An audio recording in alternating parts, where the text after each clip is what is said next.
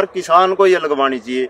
इससे मैं ज़्यादा तो नहीं कहता, आपको एक ही बैच में साठ परसेंट से सत्तर परसेंट फ़ायदा होगा।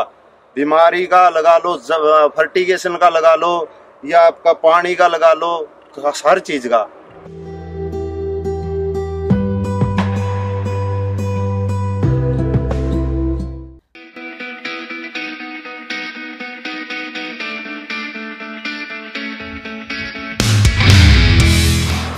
नमस्कार। मैं दिलबाग सिंह, गाँव स्मैंड तहसील थोड़ा, डिस्ट्रिक्ट फतेहबाद, हरियाणा।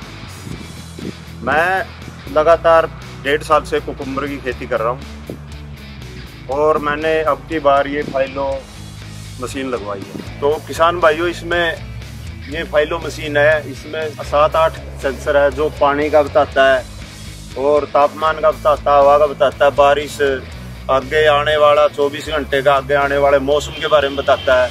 लेकिन सबसे बड़ी खासियत जो हमें आँखों से दिखाई नहीं देती, वो बीमारी, जर्मिक बीमारियाँ होती है, जो उनको, उनका नोटिफिकेशन आता है मोबाइल पे। वो सबसे बढ़िया, ये सबसे बढ़िया मेरे को ये लगा। जी, जिन बीमारियों का आने के बाद मान लो कोई भी बीमारी है, आने के बाद पता चले तो एक बीमारी है मान लो जर्मिक बीमारी है, आने के बाद पौधा खराब हो जाए और फिर पता चलता है, एक वो पहले ही सूचित कर देती है। ये सबसे बड़ी खासियत है इस मशीन की।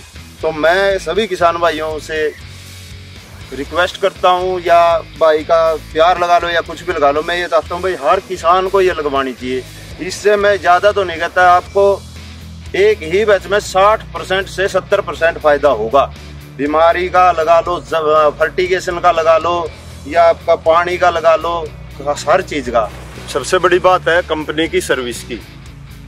जो सर्विस है, अपने भाई प्रविंदर जी है, जो कंपनी के एम्प्लॉय है, उनकी सर्विस एक कॉल में ही हमारे पास आ जाते हैं। और जो व्हाट्सएप ग्रुप है, जिससे आजकल एंड्रॉयड ज़माना है तो व्हाट्सएप ग्रुप में सर रमेश रेड्डी है और अरिजीत सर हैं। उनका बहुत ही बड़ा सहयोग है। सिर्फ़ आप मान लो व्हाट्सएप पे एक मैसेज करते हैं, भाई सर, ये बीमारी है, ये है। तो मात्र पाँच सेकंड में उनका जवाब आ जाता है, भाई, इसके लिए आप ये रिकमांड है, ये दवाई करो, ये खाद दो।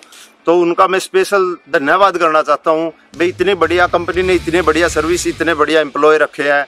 तो वेरी वेरी थैंक्स बहुत बहुत धन्यवाद। मैं अभी तक मान लो करीबन मेरी पाँच पाँच तुड़ाई हो गई है और पाँच तुड़ाइयों में मैंने करीबन करीबन भाई साहब एस्टिमेट लगा लो, अस्सी से पचासी क्विंटल से ऊपर ऊपर खीरा निकाल चुका हूँ मैं। आगे बाकी देखते हैं क्या रहेगा, क्या नहीं। आगे की मैं, आगे बताऊँगा भाई साहब। धन्यवाद।